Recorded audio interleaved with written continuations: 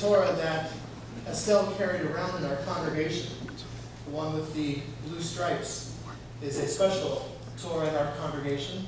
It is, it was an orphan Torah belonging to a community in uh, Bavaria in Germany. That community was destroyed, was murdered by the Nazis during World War II.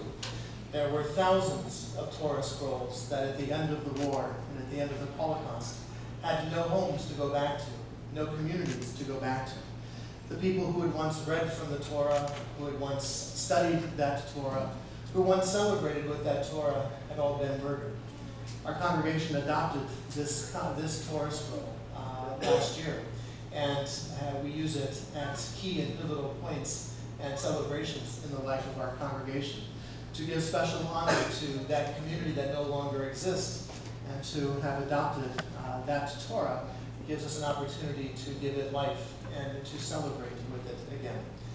I invite Sharon, Sharon Silov, Sharon Silov? Selah. Selov, I apologize. I invite Sharon Selov, uh, Estelle's aunt, to join us here and to share with us a few words of introduction about the Torah and the Torah portion from which Estelle will be reading.